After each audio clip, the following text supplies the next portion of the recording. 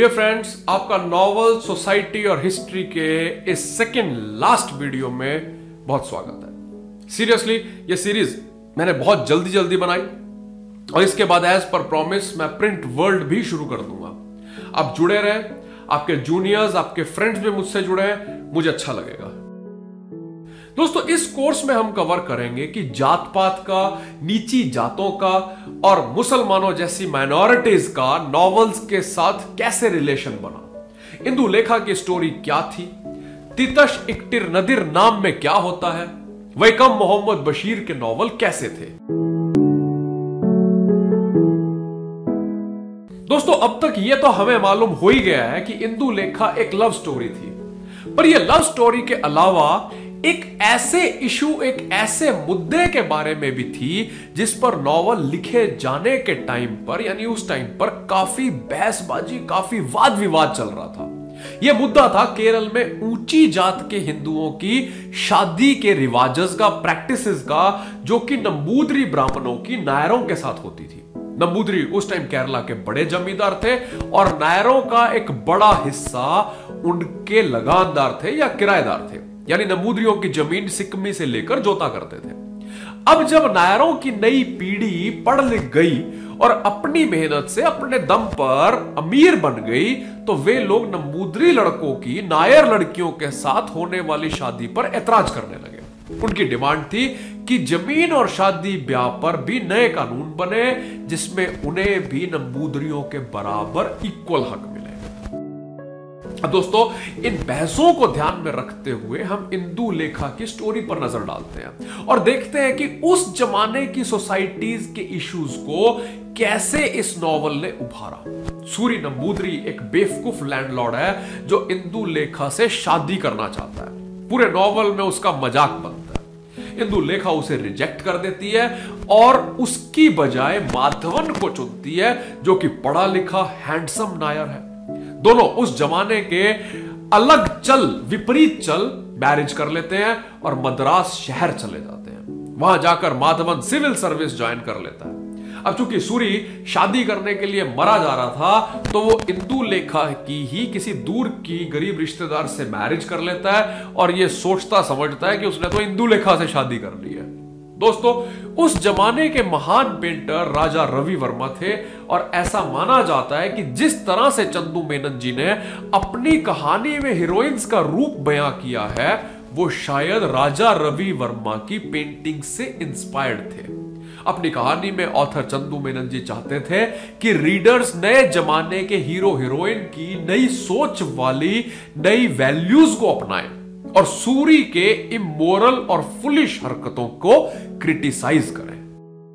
1892 में नॉर्दर्न केरला की छोटी जात वाले राइटर पोथेरी कुजाम्बू ने अपना नॉवल सरस्वती विजयम लिखा, जिसमें उन्होंने जात पात के नाम पर होने वाले दमन को काफ़ी क्रिटिसाइज किया। यह कहानी है एक अछूत हीरो की, जो अपने गाँव के जालिम ब्राह्मण जमींदार के जुल्मों से बचने के लिए अपना गाँव छोड़कर भाग जाता है। वो क्रिश्चियन बन जाता है कन्वर्ट हो जाता है और फिर पढ़ाई करता है। इसके बाद वो जज बनकर लोकल अदालत में पोस्टेड हो जाता है। अब गाँव वाले उस ब्राह्मण जमींदार के खिलाफ इस दलित लड़के के मर्डर का केस कर देते हैं। उन्हें लगता है कि इसने मार दिया और गुम कर दिया। और मामला इन्हीं जज साहब की कोर्ट में आ जाता है। जब केस चलता है तो जब खत्म होने का टाइम आता है तो जज साहब अपनी असलियत बता देते हैं और नंबूदरी को अपने किए पर बड़ा ही प्राश्चित होता है। वो सुधर जाता है। सरस्वती विजयम छोटी जात के लोगों की तरक्की के लिए पढ़ाई पर ज़ोर देता है। दोस्तों, बंगाल में भी 1920s में नए तरह के नॉवल लिखे जाने लगे थे, जिसमें किसानों और छोटी जात वालों की ज़िंदगी के मुद्दों को दिखाया गया। 1914 में जन्मे अद्वैत मल्ला बर्मन के 1956 में छपे एपिक नॉवल तितश एकटी नदीर नाम में मल्ला मछुआरों की ज़िंदगी को दिखाया। ये मल्ला लोग तीतश नदी में मछली पकड़कर अपनी ज़िंदगी चलाते थे। इस नॉवल में मल्लाहों की तीन पीढ़ियों की कहानी है। कहानी है उन पीढ़ियों में उन पर आई मुसीबतों की और कहानी है एक लड़के अनंत की जिसके माँ बाप शादी के बाद सुहागरात के इमीडिएटली बाद बिछड़ गए थे। अनंत अपने मल्लाहों के समाज को छोड़ शहर में आकर पढ़ाई करता है। यह नॉवल बहुत ही डिटेल में मल्लाहों की कम्युनिटी लाइफ उनके होली, काली पूजा, बोट रेस जैसे त्योहार, भटियाली गाने, उनके किसानों से व्यवहार, रिश्तेदारी, दोस्ती, दुश्मनी और ऊँची जात वालों से उनका बैर रखना भी दिखाता है। धीरे धीरे कम्युनिटी टूटने लगती है क्योंकि इस समाज पर शहर से आने वाला प्रभाव पड़ने लगता है। तो समाज के लोग आपस में लड़ने लगते हैं। इस समाज का नदी के साथ बहुत ही आत्मिक रिश्ता है। दोनों की जिंदगियाँ एक साथ मिली हुई है तो उन दोनों का एंड भी एक साथ ही आता है। जैसे जैसे नदी सूखती जाती है, मल्ला समाज भी खत्म होता जाता है।